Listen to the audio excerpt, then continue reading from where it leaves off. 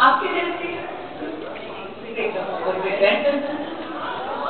वैसे आप बहुत सुंदर लग रही बस ज़्यादा टाइम हो गई काफ़ी नहीं, क्योंकि मुझे लगा था कि अदिति की मम्मी है, शादी हो रही है and when I saw you so young so pretty Aditi के अदिति के बारे में आप बताइए। अदिति अब आपके घर को छोड़ के ससुराल जा रही है?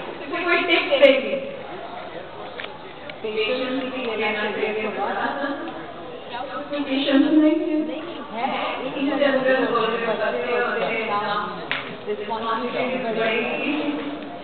हो सा लाइफ सास ससुर की सेवा। अपने सास ससुर की सेवा कैसे करें? वो तो घर में देखते आ रहे हैं। जैसा है।